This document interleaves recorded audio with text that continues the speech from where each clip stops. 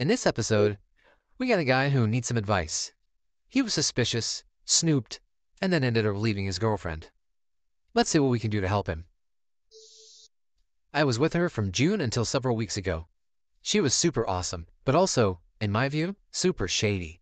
I blindsided her pretty hard by leaving her. Sorry in advance for the novel, but I think the details are important. We met on Tinder and hit it off immediately, as we shared lots of common interests, maybe more than anyone else I've ever met. We actually matched while she was visiting a friend in the city where I live, but she was living in a college town about a 100 miles away. The good first two weeks of knowing each other was from Tinder messages and texts only. Finally, went and met up with her in real life, and she was far more awesome than I expected. Anyways, I was taking online summer classes at my university, and she was unemployed due to COVID. So even though she technically had lived 100 plus miles away, she basically lived with me for most of the summer, lying to her parents about where she was. Fast forward to the autumn semester, and we go from living with each other for two to three weeks straight per month to seeing each other for one to three days a couple of times per month. It was around this time a family friend of hers, basically her godmother, died. Though she faced it really bravely at first, it came to consume her and she quickly became depressed, anxious, and her eating disorder got worse. A week or so after the funeral, I didn't go and she was totally fine with that.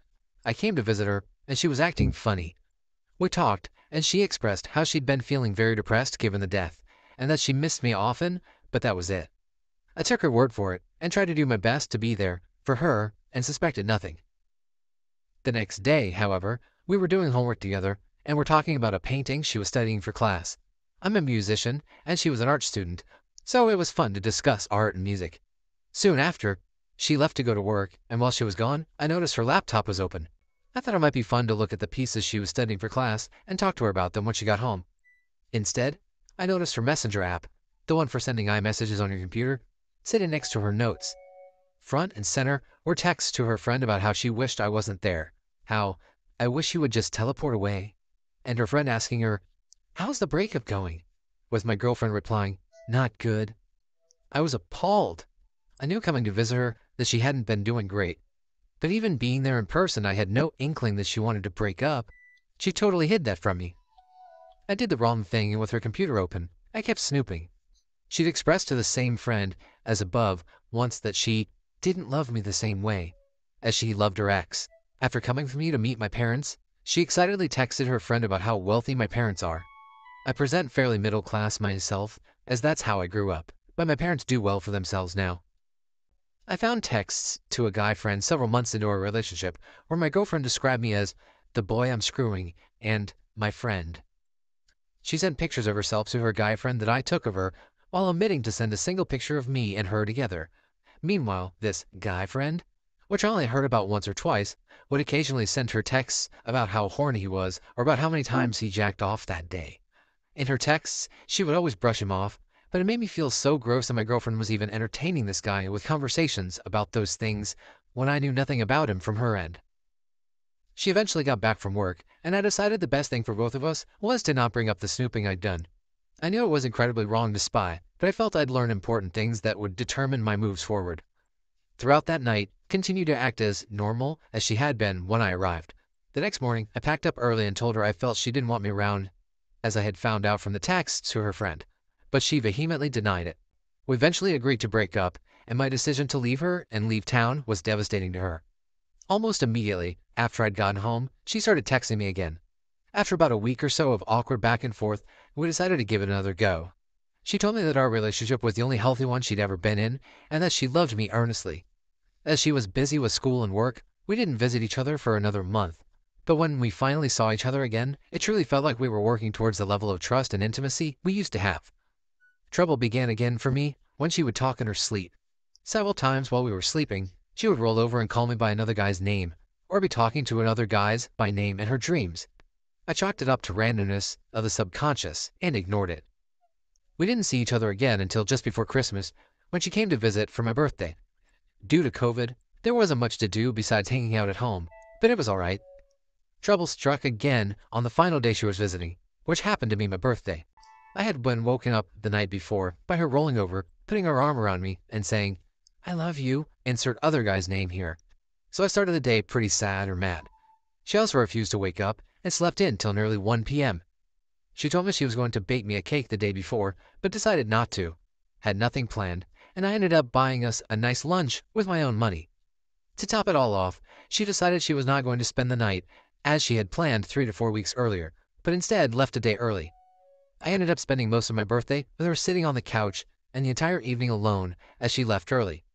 I'm not a needy person when it comes to birthdays, presents, surprises, but the extremely low level of effort combined with being called another guy's name in bed the night before left me sad, mad, and more suspicious than ever. I went through Christmas time feeling pretty dejected about the whole relationship, but it didn't cost me much more than an hour a day of texting or phone calls. Choices went with it. The last straw for me was her not texting me all evening one Friday in early January. Finally, got a tipsy text from her late that night that she'd been out getting coffee and drinks with one of her guy friends she hadn't seen in months.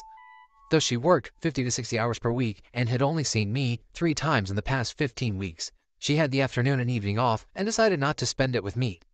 I would never ask a significant other to distance themselves from seeing their friends. That's abusive.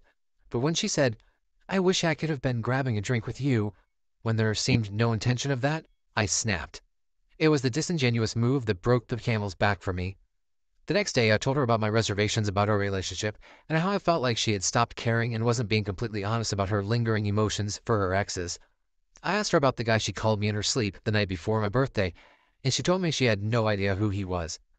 Five minutes looking at social media and Venmo, yeah, I know, it was creepy and I knew she was flat out lying. He was her ex, friends with benefits, a month or two before we met. I knew at that point I couldn't go on anymore. I'd never expect a girlfriend of mine to give me the rundown on their entire past, but don't lie to me. I took her completely by surprise that I decided to leave for good, and she ended up getting pretty angry at me for breaking up. I'm several weeks single at this point and don't feel great, but I'm doing alright. It sucks because the girl was incredibly perfect for me in a number of ways that are very important to me.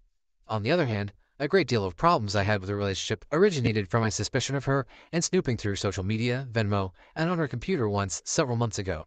In the end, I think I did the right thing for myself, but confronting the fact that my doubts seem to be rooted in my own insecurity and inability to trust has had me wondering how to grow and move forward. Lord of the Low End is the first to chime in. You read her plan, dude. She was pretty clear talking to her friend that with you, she saw dollar signs. You literally stayed in a relationship with a girl you knew didn't like you and was eyeing your parents' money. You said because the cost of participation was only texting? That's passivity. If you don't look forward to talking to someone, maybe don't be in a relationship with them. SSBB08 adds, OP finds out she didn't like him around, was planning on breaking up, that she didn't love him the same way as her ex, that she was extremely inappropriate with another man, hiding her relationship with said man, and outright admits she is excited his parents are rich. OP. She was incredibly perfect for me. Rose tinted glasses are a thing, OP. Give it time, and you'll see that you made the right choice. And the only regret you'll have is not staying broken up the first time. You'll find someone way better for you than this. Cat Fed Hill chimes in. OP will probably reply, But we both like Nickelback. Don't you realize how rare that is? How incredibly perfect we are for each other. Like I said, rose tinted glasses. Having a couple things in common does not make them a perfect match for you. This chick was bad news. You're much better moving on. Monetsia defends the guy. It's very easy for us to be objective, as we have no emotional stakes in this and are pretty unaffected. But I bet that in a few months, OP will look back at this post and situation and berate himself for missing the flags and staying in a relationship he wasn't committed to. Feel fine I lie? Thanks. This type of crap is so common in modern dating. I think as soon as you get that gut feeling something's off, it's best to attempt to talk it out. Then, if nothing's solved, just bail. And don't take girls you meet on Tinder seriously. Just don't. A APAC Demand adds, I mean, I found my fiance, soon to be wife on Tinder. A girl also stole money I gave her for drugs. X, I think. I can't remember now. And stopped contact by sending me pics of her in bed with another girl. Guess it can be a box of chocolates. Feel fine, I lie, replies back. I know what you mean, man. I think because I went through a pretty high volume of girls on Tinder and found some absolute bad ones, it puts a bad taste in my mouth. Like, I've literally been stabbed by a girl off Tinder. And I won't even go into the amount I met who told me about their boyfriend after sleeping with them.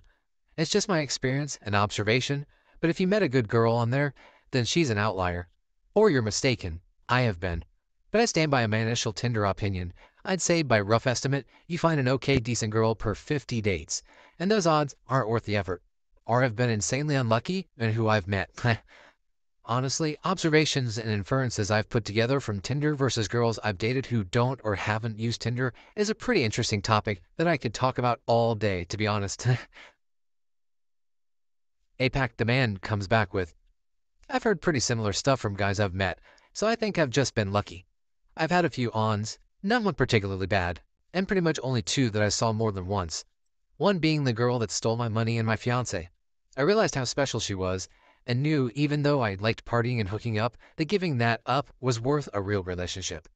The only advice I'd give anyone trying Tinder, not you, you sound like a veteran, is don't take it too seriously. You might meet good people, you might meet crap people. It's the luck of the draw, but be safe and have fun. Feel fine I lies last comment about this. You sound like a good dude. I hope it works out with your fiance. I agree that giving up, partying, and hooking up is pretty easy when you find that person. It's just the rarity of that person, which I guess is what makes such a small sacrifice relatively easy. And yeah, I fully agree. Don't take Tinder seriously. It's what I was saying, but I worded it way more negatively. and then APAC Demand rounds out that conversation thread. Thanks, man. Really appreciate it. And yeah, giving it up for a special person makes it easy. Have to treasure those people because they definitely are rare. Even though I had some fun on Tinder, I'm honestly glad I don't foresee going back on ever again.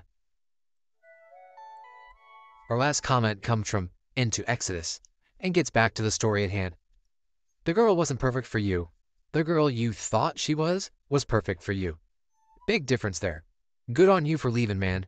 You should have stuck with it the first time, but I know how it goes.